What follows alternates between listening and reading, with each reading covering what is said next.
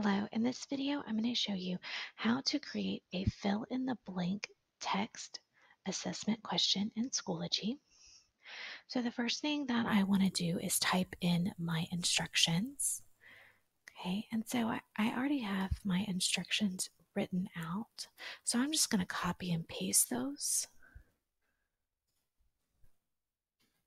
Okay, so something to note is um, you know, you want to make sure if they're typing something that they're they're not going to have a word bank. So you want to tell them if they need to capitalize anything.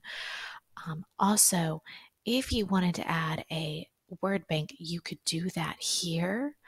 Um, or what I would like to do is I would just create a word bank like in a Google Drawing and then just add that picture here.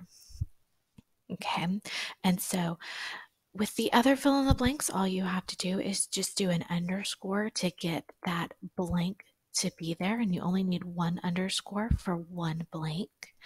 And for those of you who don't know how to do an underscore, it's just a shift and the dash, which is right next to the zero key. And so now I have my blank there, and I'm just going to fill in what the rest of that is supposed to be.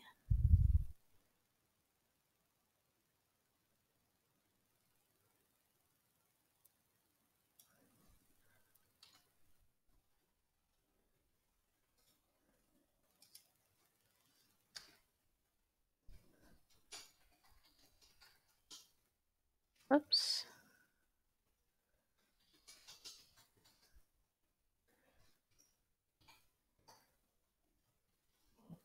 Okay, and so then I can add another one if I would like, or I can just go ahead and just do one fill in the blank per question.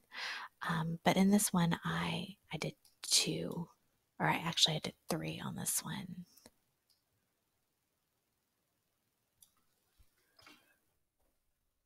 So let me get those in there.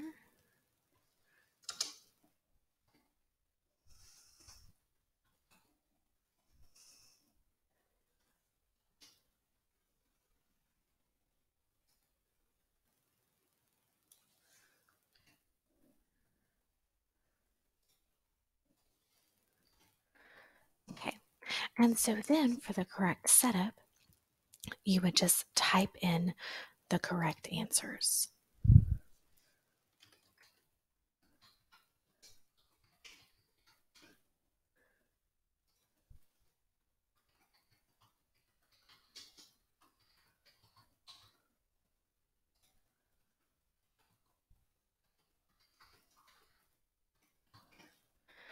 And then I like to do a partial match.